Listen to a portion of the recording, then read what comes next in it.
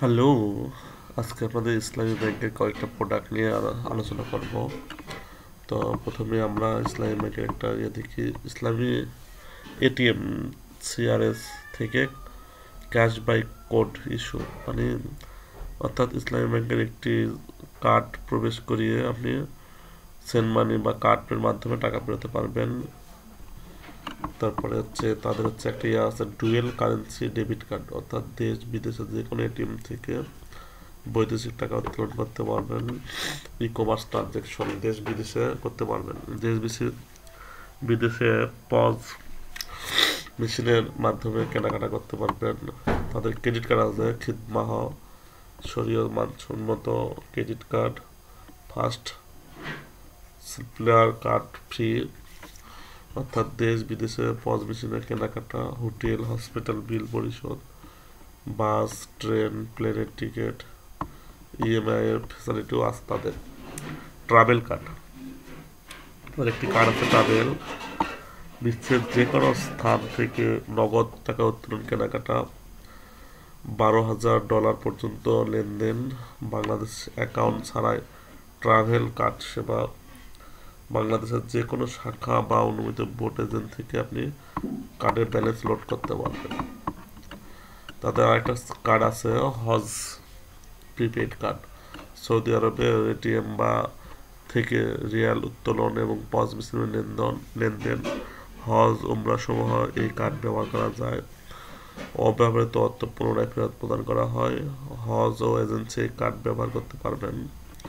Pause terminal যে কোনো ব্যাংকের কার্ড ব্যবহারযোগ্য পাঁচ লাখ টাকা পর্যন্ত উত্তোলন করতে পারবেন।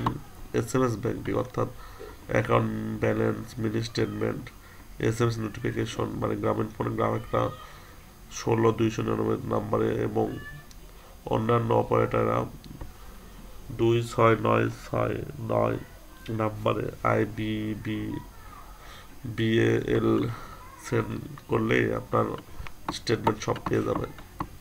ইসলামী ব্যাংক, এম ক্যাশ, অর্থাৎ বিকাশের মতো হয়। এম ক্যাশ এজেন্ট, শাখা, উপশাখা, এজেন্ট ব্যাংকিং আউটলেট সুবিধা রয়েছে। ব্যাংকের